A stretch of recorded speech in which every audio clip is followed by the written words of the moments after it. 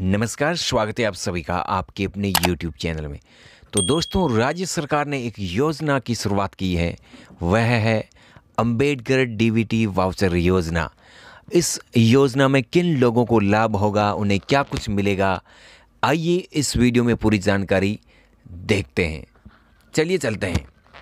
प्रदेश के विभिन्न आरक्षित वर्गों के कॉलेजों में अध्ययनरत छात्रों को राज्य सरकार अपने घर से दूर शहरी क्षेत्रों में रहने के लिए आवासीय सुविधा हेतु वाउचर प्रदान करवाएगी।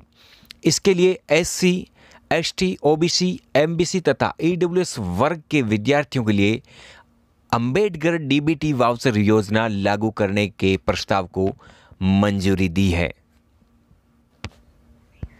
सामाजिक न्याय एवं अधिकार, अधिकारिता विभाग के प्रस्ताव के अनुसार गत परीक्षा में न्यूनतम पचहत्तर प्रतिशत अंक हासिल करने वाले कुल पाँच हज़ार छात्रों को मेरिट के आधार पर वर्ष में दस माह के लिए डीबीटी वाउचर दिए जाएँगे।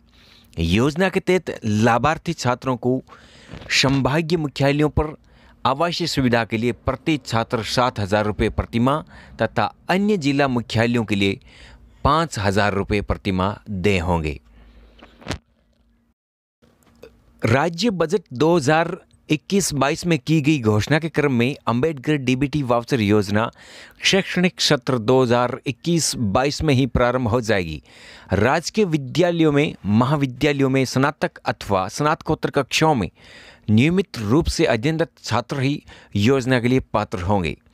तो दोस्तों, जो कॉलेजों में रेगुलर बच्चे पढ़ रहे हैं, वही लोग योग्य होंगे।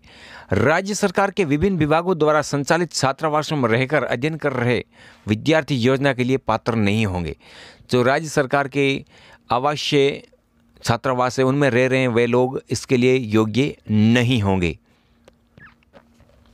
इस निर्णय से अपने घर से दूर रहकर पढ़ाई करने वाले छात्रों को लाभ होगा। इस प्रकार से अंबेडकर डीबीटी वाउचर योजना आरक्षित वर्ग के लोगों के लिए लाभदायक है और जिन बच्चों ने गत परीक्षा में पचहत्तर प्रतिशत अंक प्राप्त किए हैं, उनको मेरिट के आधार पर वाउचर दिए जाएँगे। और दोस्तों, चैनल को सब्सक्राइब कर लीजिए और बेल आइकन दबा दीजिए ताकि नए आने वाले वीडियो आप लोगों को मिलते रहें।